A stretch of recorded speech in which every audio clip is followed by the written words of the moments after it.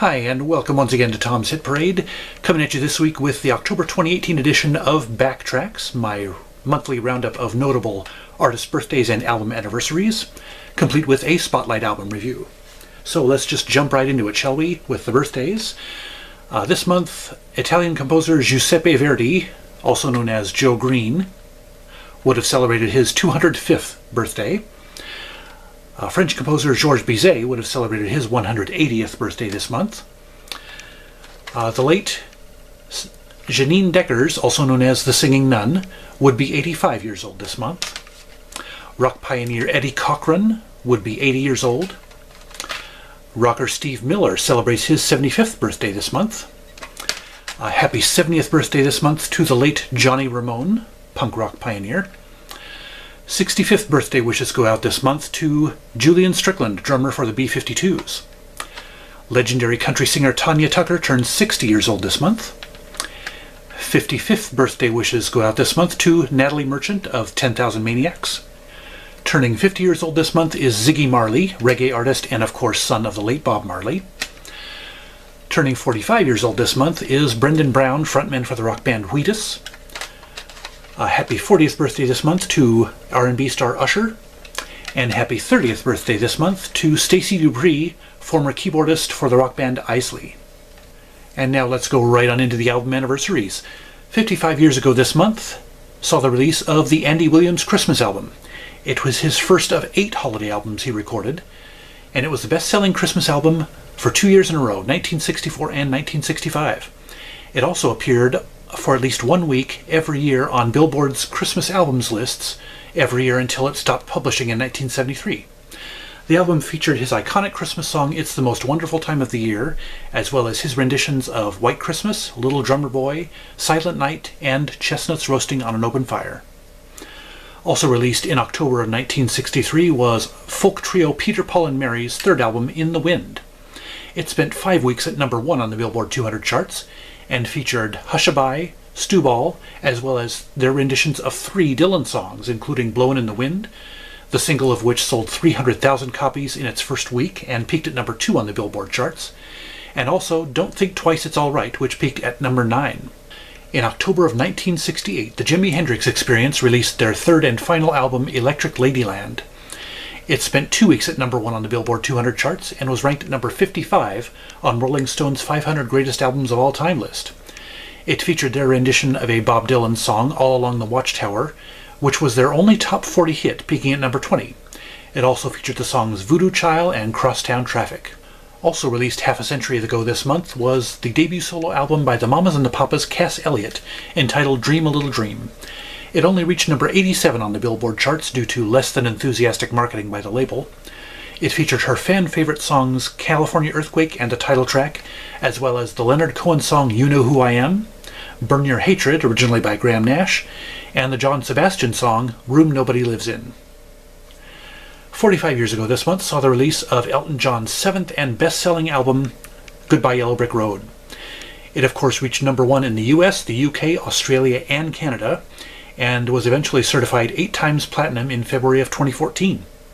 It featured the smash hit songs Saturday Night's All Right for Fighting, Candle in the Wind, Benny and the Jets, and the title track. Now, as incredible as it might seem, this album never won a Grammy, although it was inducted into the Grammy Hall of Fame in 2003. Also released 45 years ago this month was Genesis' fifth album, Selling England by the Pound. It reached number 3 in the UK, but only number 70 in the US. Uh, it included the fan favorite songs Firth of Fifth, More Fool Me, which uh, was the second lead vocal by Phil Collins before he became the frontman in 1975, and I Know What I Like in Your Wardrobe. Happy 40th anniversary this month to Toto's self-titled debut album. It reached number 9 on the Billboard 200 charts and in Canada as well. It also went top 10 in Australia, Sweden, and West Germany. This was before the reunification of Germany. It featured the hit single Hold the Line, which spent six weeks in the top 10, as well as I'll Supply the Love and Georgy Porgy, which went top 50. Another debut album celebrating its 40th anniversary this month is Dire Straits. It reached number 2 in the US, number 5 in the UK, and number 1 in Germany, West Germany, Australia, and France. It featured the hit song Sultans of Swing, which actually didn't become a hit until a year after the album was released, as well as the song Water of Love. Now, as a trivia note, the band name came about after Mark Knopfler's jobs as a writer for the Yorkshire Evening Post and a teacher at Loughton College left him in dire financial straits. 35 years ago this month, Cyndi Lauper sprang onto the scene with her debut album She's So Unusual. It peaked at number 4 on the Billboard 200 charts and stayed in the top 40 of the chart for 65 weeks. It went number 1 in Canada and top 10 in six other countries, including Japan, New Zealand, and Norway. It earned her six Grammy nominations, including Album of the Year, and two wins, including Best New Artist. It featured the smash hit singles including Girls Just Wanna Have Fun, Time After Time, which went top 10 pretty much everywhere, as well as She-Bop, which went top 10 in Austria, New Zealand, Canada, and Australia, and All Through the Night. And uh, this album made Cyndi Lauper the first female singer with four top five singles on the Hot 100 from one album. Also released in October of 1983 was the sophomore album by Culture Club, Color by Numbers. Uh, it peaked at number two for six weeks on the Billboard 200 charts behind Michael Jackson's Thriller, and it went number one in five countries, including Australia, Canada, and the UK, and top 10 in nine other countries. It featured the hit song Karma Chameleon, which went number one in 11 countries, Church of the Poison Mind, one of my personal favorites, which went top 10 in seven countries, and Miss Me Blind, as well as It's a Miracle, both of which went top 20 in the US. Three decades ago, Anita Baker released her third album, Giving You the Best That I Got. It was her first and only number one on the Billboard 200 charts. It went three times platinum within a year and featured the singles Lead Me Into Love, Just Because, which reached top 20, as well as the title track, which earned three Grammy Awards and was her highest charting single at number three. Also released in October of 1988 was The Traveling Wilburys Volume 1, represented here by my complete collection box set. Uh, it was the debut album by the supergroup featuring George Harrison, Tom Petty, Roy Orbison, Bob Dylan, and Jeff Lynne. Uh, they were formed by accident during what was meant to be a one-time collaboration for a George Harrison B-side. Uh, the album won a Grammy nomination for Album of the Year. It went number one in Australia and Canada and number three in the US, which is kind of hard to believe considering that lineup. Uh, it also went top 10 in five other countries. It featured the singles Handle with Care and End of the Line, which both, both of which reached number two on the Billboard Mainstream Rock Tracks chart. A quarter of a century ago, Pearl Jam released their sophomore album, Verses. It set the record for first week album sales, which it held for five years. It went number one on the Billboard 200 charts and stayed there for five weeks. It also went number one in the Netherlands, Norway, New Zealand, and four other countries. It eventually achieved seven times platinum status and earned the band three Grammy nominations. It featured the singles Go, Dissident, which reached top 5 on the Billboard Mainstream Rock Tracks chart, and Daughter, which reached number 1 on the same chart. Also released in October of 1993 was God Shuffled His Feet, the sophomore album from Canadian rock band Crash Test Dummies.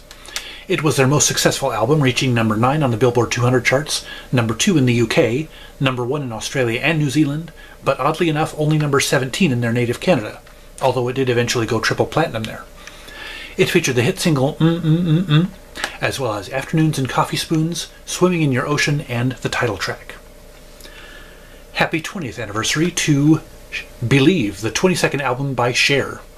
It reached number 4 on the Billboard 200 charts, it went number 1 in 6 countries and top 10 in several others, and it revitalized her career and earned her 3 Grammy nominations, including one win for Best Dance Recording. It featured singles Strong Enough, All or Nothing, the title track, which reached number one in 23 countries.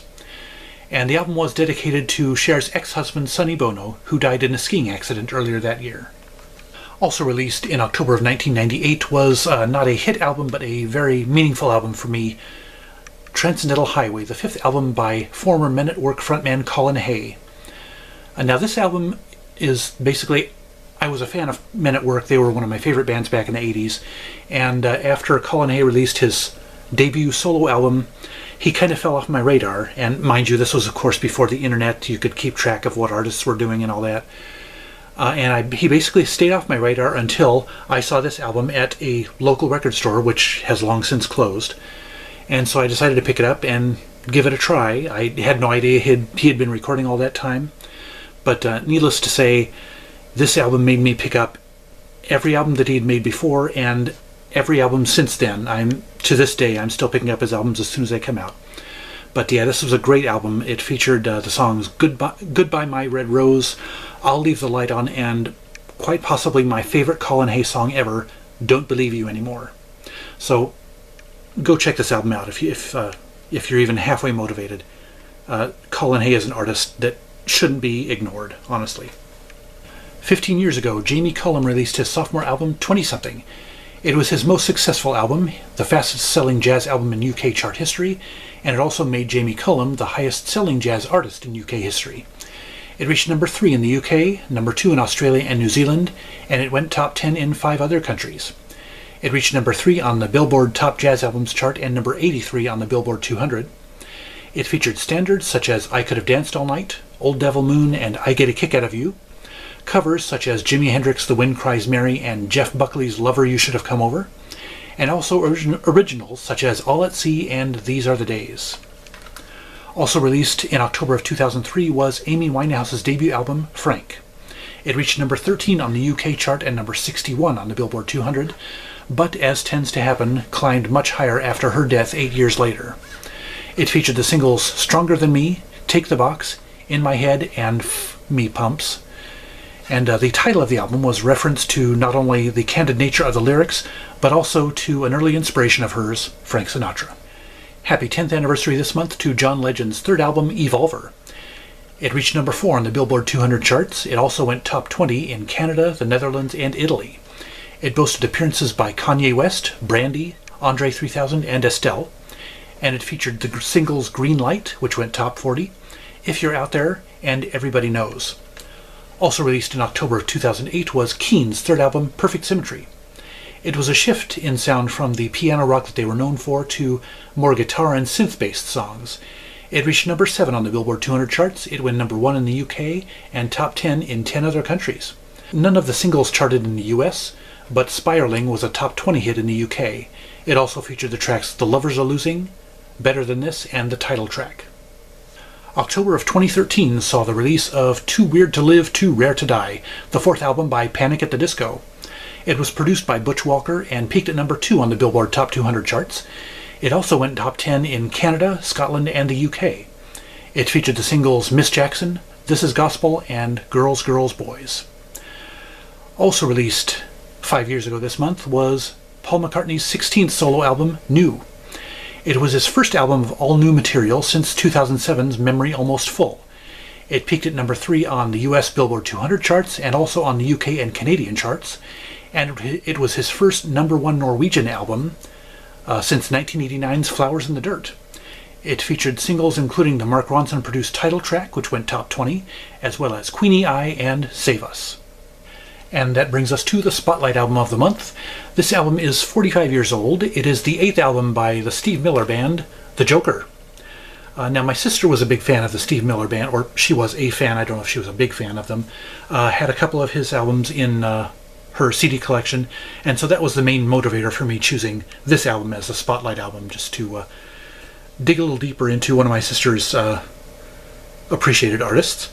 And uh, I have to say I like this album. It's uh, it's not a deep album. It's uh, as the cover kind of uh, suggests, and also the title, "The Joker." It's a pretty light album. You know, light on lyrical content. The songs are pretty fun. This, of course, includes his big hit, "The Joker." I can't really pick a favorite song on here. Um, you know, it's just as I said, it's it's not remarkable, but it's it's a good album. I, I recommend at least listening to it at some point. Uh, yeah, the, the Joker, of course, as I said, a big hit single. Um, Mary Lou was a good song. Your Cash Ain't Nothing But Trash, with which I think might be a cover. Uh, Sugar Babe, Shoo Ba Do Ma Ma Ma Ma, that was a good one. Yeah, go give this album a listen. I, I honestly I can't say a whole, whole lot about it. Uh, it was a good album, not a great album. Um, will it compel me to dig deeper into the Steve Miller Band? Probably, because uh, I mean, you know, I mean, he's got plenty of hit singles, plenty of songs that I like uh, from his greatest hits album that I have. But yeah, this album was it was okay, not bad not great. So uh, yeah, uh, one of the probably one of the lesser spotlight albums for backtracks. But hey, I'm I'm not sorry I picked it up. What can I say? So anyway, yeah, I guess that's it for backtracks for this month. Uh, yeah, sorry I couldn't uh, expound more verbosely on that album. But yeah, there's just not much to say about it. So, uh, do you have any favorite October anniversary albums this month? Let me know in the comments. And uh, any other, you know, suggestions, questions, criticisms, constructive criticisms, uh, please fire away. Uh, subscribe if you haven't yet, if you would please. I'd love to have you a subscriber. And uh, again, that's it for now. Thank you very, very much for watching. Uh, hope to see you soon. And remember, life's too short to be a music snob.